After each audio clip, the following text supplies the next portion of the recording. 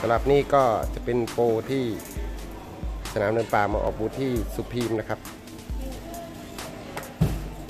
ตัวนี้ก็จะเป็นรุ่นเทเลสนะครับ